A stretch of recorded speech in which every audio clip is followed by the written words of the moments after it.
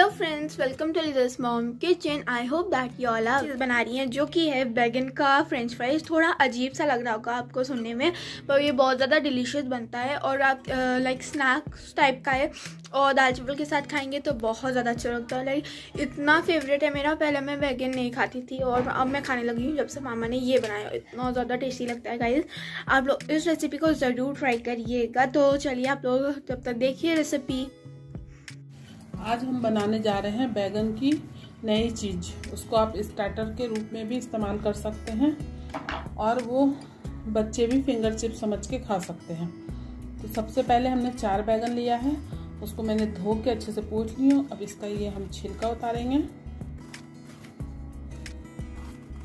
सभी बैगन का छिलका उतार देंगे। ये हमने चारों बैगन का छिलका उतार लिया है। अब इसका हम काटने का आपको तरीका बताएँगे।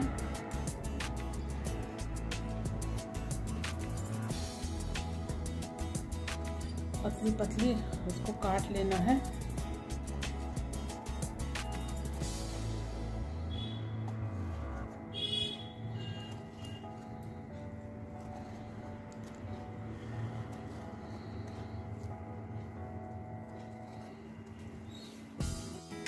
अगर आपको ऐसे काटते नहीं बने तो आप ऐसे आराम से ऐसे करिए। और यहाँ से पतला पतला ऐसे से करते जाइए।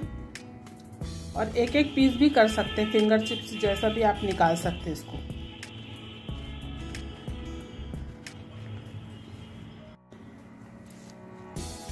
ये हमारा बैगन रेडी हो चुका है। हमने एक बॉल में पानी लिए हैं।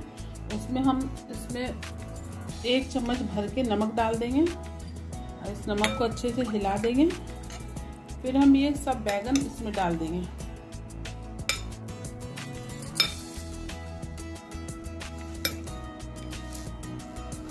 डाल के इसको ढक के कम से 10 मिनट तक इसे रख देंगे।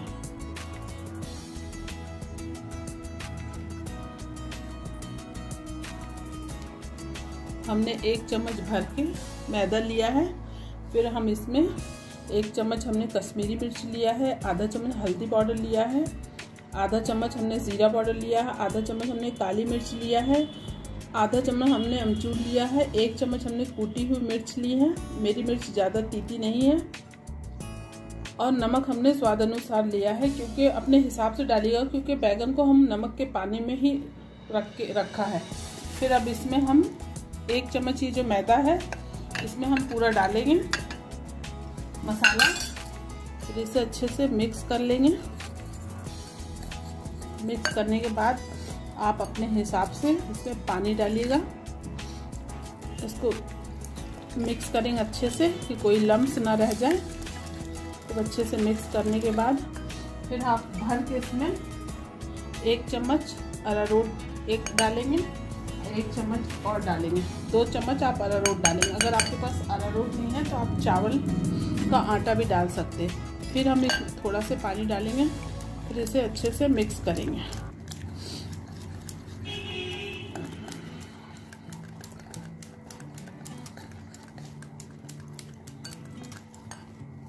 फिर इसमें थोड़ा पानी और डालेंगे।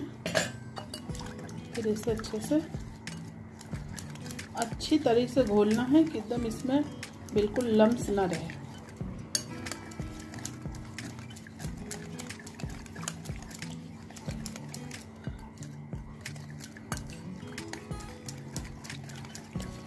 हमारा घोल रेडी हो चुका है। इसे अच्छे से डुबो डुबो के।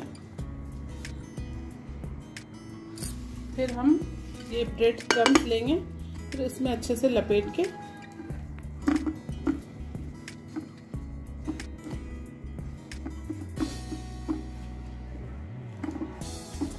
अच्छे से अंदर अंदर डालेंगे ब्रेड क्रम्स अच्छे से इसमें पूरा चिपक जाए। ये हमने पैन को चढ़ा के पहले से तेल रख दिया था।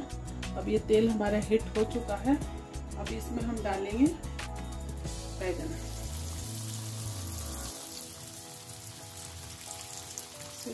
मिला दिया अच्छे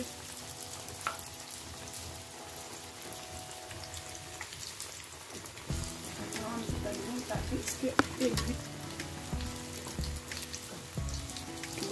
अच्छे से फिर एक बैगन को और मैं इधर डाल दूँगी ये देखिए हमारा बैगन इतने अच्छे से फ्राई हो चुका है, इसे हम निकाल रहे हैं। इसे हम निकाल रहे हैं। दूसरा वाला भी फ्राई हो चुका है तो इसे भी हम निकाल रहे हैं।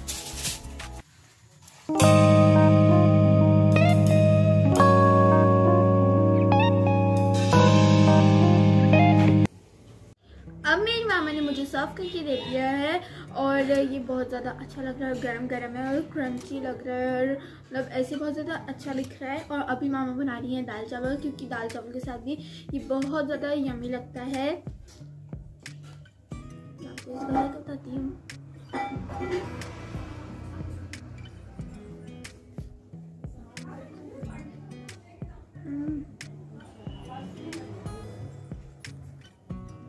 बहुत ज़्यादा जगेदार बना है, बहुत ज़्यादा क्रंची भी है और खाने में तो बहुत मज़ा आ रहा है और दाल चावल के साथ खाएँगे तो बहुत ज़्यादा अच्छा लगेगा आपको उसके साथ भी और साइड डिश के साथ भी आप खा सकते हैं, वैसे बहुत ज़्यादा यमी लग रहे हैं। तो इस रेसिपी को ज़रूर ट्राई करिएगा।